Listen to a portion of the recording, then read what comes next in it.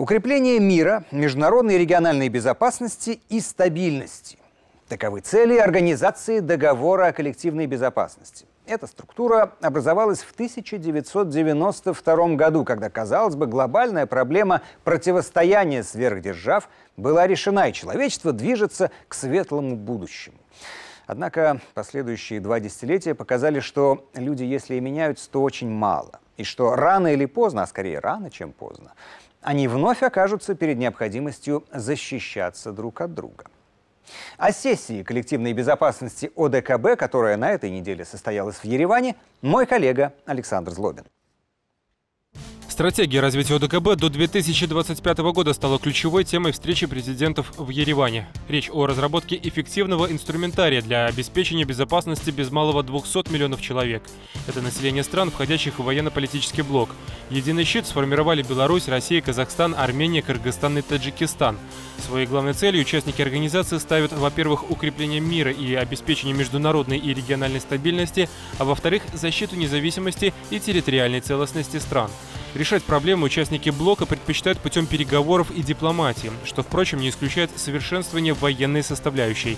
Взаимодействие оттачивается во время совместных учений. Еще одно важное направление для сотрудничества – противодействие терроризму, незаконному обороту наркотиков и оружия – все эти темы отражены в стратегии ОДКБ 2025, а за переход от теории к практике будет отвечать Беларусь, которая перешло председательство в организации. Приоритеты развития Минск выработал. Это и усиление сотрудничества с международными организациями, и миротворческая деятельность, и укрепление военного взаимодействия. Но Александр Лукашенко, как председатель Совета коллективной безопасности, решил доработать список инициатив с учетом продолжительной ереванской дискуссии. Президенты общались более трех часов.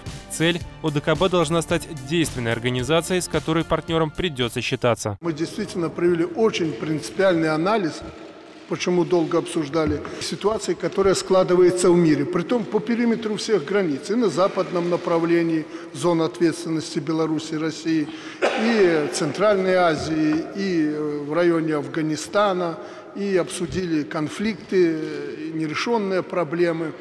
И я так честно признаю, что те подготовленные материалы по приоритетам нашего председательства э, несколько не тянут на тот уровень обсуждения, на который мы вышли в узком кругу. Э, к примеру, мы констатировали все, что ОДКБ никто не хочет признавать, там особенно НАТО, вот видите, организация не та и прочее. Я так э, слушал эти разговоры и думаю, вы знаете, если мы будем их просить, чтобы они нас признали, они никогда нас не признают их надо, нам надо поступить таким образом, чтобы заставить их признать нашу организацию, ну и много других вопросов.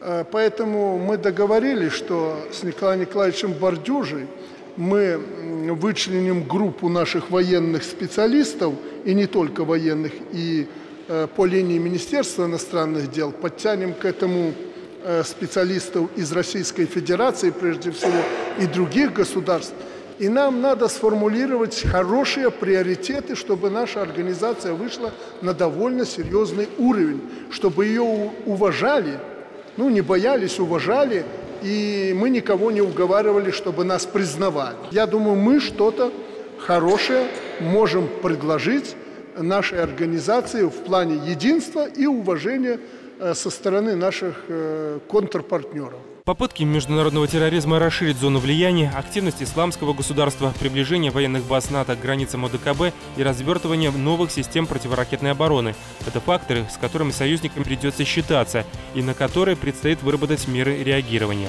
Что касается практических итогов, президенты согласовали единый список организаций, которые на всей территории ОДКБ признаны террористическими. Также будут приняты меры по противодействию вербовке экстремистами граждан шести стран.